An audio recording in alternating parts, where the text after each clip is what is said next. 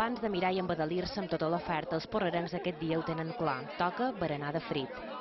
La Fira i el Firó de Tardor de Porreres se conceben com una ocasió per mostrar la força del teixit empresarial local. Va començar sent una fira agrícola ramadera, després en la incorporació de les empreses de construcció va tenir un caire més, més de empresarial i ara pues, intentam promocionar el producte local i el petit comerç que són els que necessiten més ajuda en aquest moment. Per la fira no fas grans ventes, sinó que dones a provar el teu producte, producte porrerenc que tenim, tenim de tot, tenim un mercat, tenim torró, tenim fideus, tenim de tota classe de gènere porrerenc.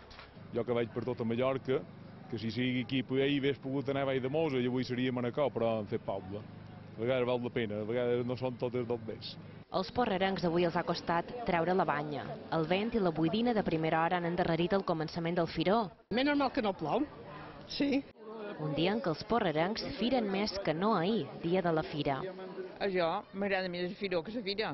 Com així? Perquè pot passar més en tranquil·litat. Ahir, dia de la fira, 10.000 visitants feren poble a Porreres.